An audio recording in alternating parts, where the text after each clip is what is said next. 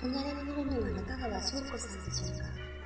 彼女は足の部分だけが透けているんですけれども中山秀樹さんは体全体に後ろの白い手すりが透けて見えてしまっているんですね。